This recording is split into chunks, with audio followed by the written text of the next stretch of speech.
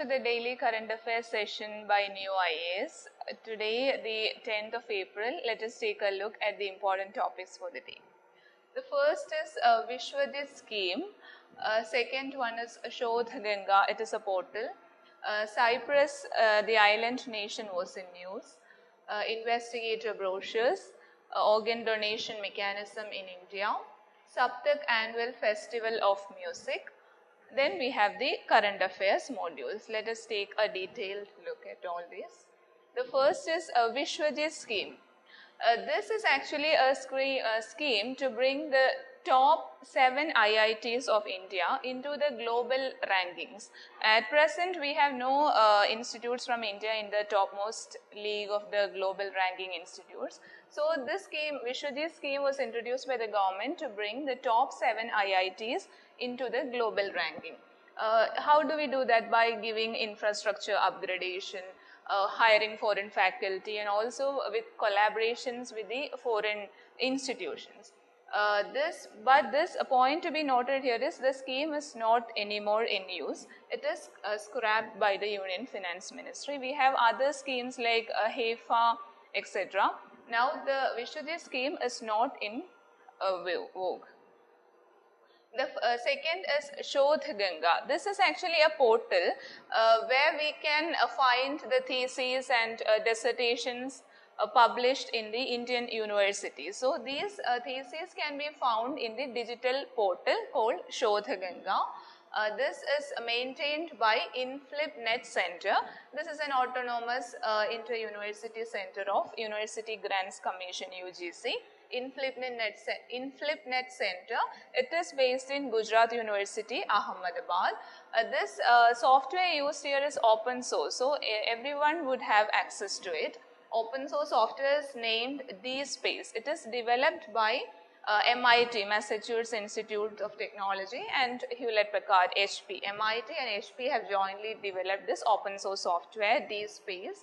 Uh, so the main feature to be noted is Shodh Ganga portal is an open source software, so uh, everybody would have access to it. Thereby, the what is the advantage? It would solve the issue of research duplication and poor quality what we uh, the issue that we face now is a duplication of researches people tend to copy research. There is no originality in those works. So that issue can be resolved by this portal shodh ganga portal now the next is uh, Cyprus, the island nation, Mediterranean island nation was in news. The High Commissioner of Cyprus was here to attend a conference.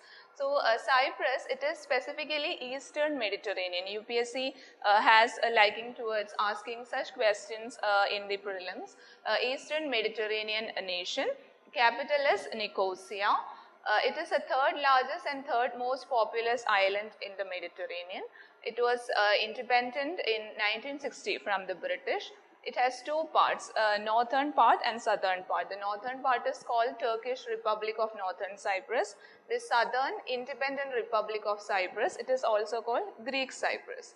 Uh, there is a region between north and south. It is called the Green Line. You have the UN patrol forces there.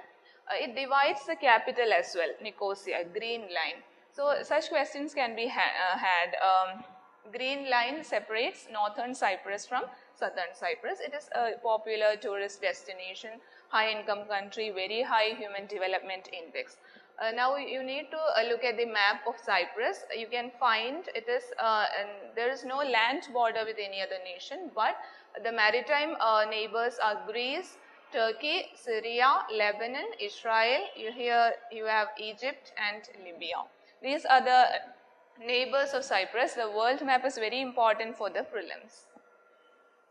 Next is uh, we already know that Cyprus is uh, called a tax haven and we know what a tax haven is. There would be minimal tax liability so corporates would look to get uh, minimal uh, corporate tax there. So uh, other examples of uh, tax havens are British Virgin Islands, Cayman Islands, Panama was in news, Mauritius, etc. The point to be noted is they do not require individuals or businesses to reside in those countries.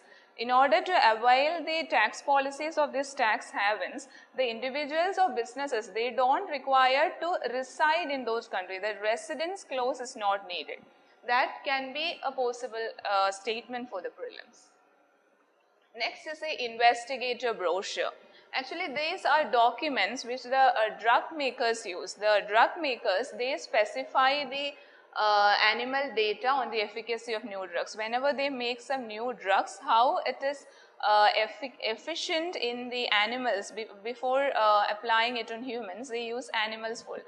So those data is available in the investigator brochure. The name comes from uh, the fact that it uh, gives investigators or any other uh, authorities the uh, details about the drugs, uh, its frequency, the methods of administration, whether it is oral or in, by injection, uh, other safety monitoring procedures. So all this data can be had from investigator brochures. This can be a single statement question. Investigation, investigator brochure refers to which of the following. Uh, it should be reviewed annually and if any uh, marketing approvals are found for the drug, it should be mentioned in this document. The news was that uh, there was a recent report that such IBs, they do have large gaps because what is being stated in those uh, IBs are very far from reality. That was a report that we had very recently. That is how this is in use. Investigator brochures. Next is organ donation mechanism in India. In India, organ donation is governed by this act, Transplantation of Human Organ Act, which was passed in 1994. Uh, according to this act, brain death is a form of death. So there can be questions like it is not recognized as a form of death. So that is a wrong statement. It is a form of death and also organ sale, it is a punishable offense according to this act. Now you can, uh, we all know that near relatives or unrelated persons can donate organs to any other person. Now the, this point is very significant. Near relative, if, if he donates it, then the hospital committee, that is the whichever hospital is doing the transplantation operation, they should form a committee and ensure that this organ donation is purely altruistic. There is no money motive behind it.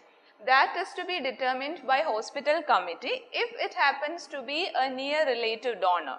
But on the other hand, if it is an unrelated donor, it should be vetted by a state government appointed committee. That is the difference. If it is an unrelated donor, a state government appointed committee must vet that this is purely altruistic. Uh, organ trade involving any uh, money or remuneration is purely illegal in India. If uh, we find that some donor has uh, uh, is driven by money motive, he, he would be arrested for a 5 to 10 year jail and a fine would range from 20 lakh to 1 crore. So this point uh, regarding the vetting, it is important.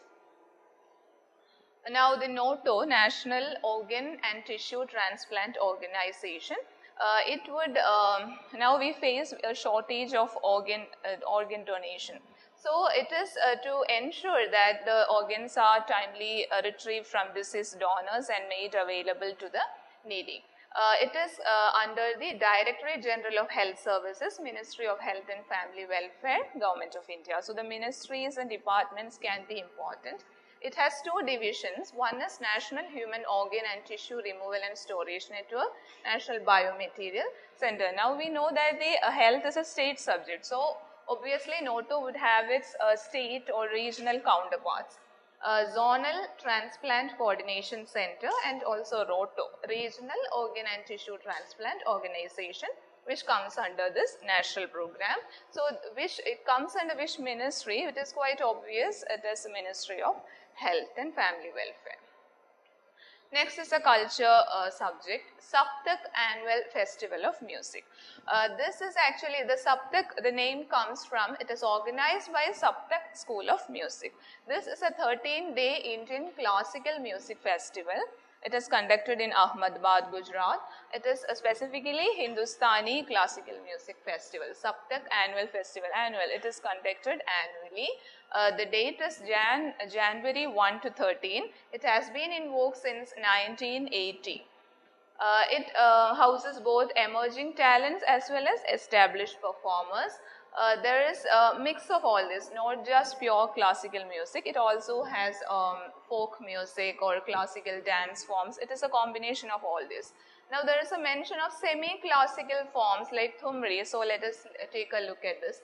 Thumri is a common genre of uh, semi-classical Indian music. It is semi-classical Thumri. Uh, the text would be a romantic version or devotional song, especially uh, like we have the Meera Bhajans. Uh, similar to that, the girl's devotion to Lord Krishna, it is being depicted in Thumri it characterizes sensuality and also a specific point is it has flexibility of raga. So uh, there is no rigid raga in uh, Thumri, it has flexibility of raga. The term Thumri comes from the Hindi verb thumakna to make dance-like movements. Uh, it, so it has a dance plus a dramatic, uh, dramatic gestures. So Thumri can be a possible question from the culture part for prelims. Now the current affairs modules, we have the Clean Sea 2017.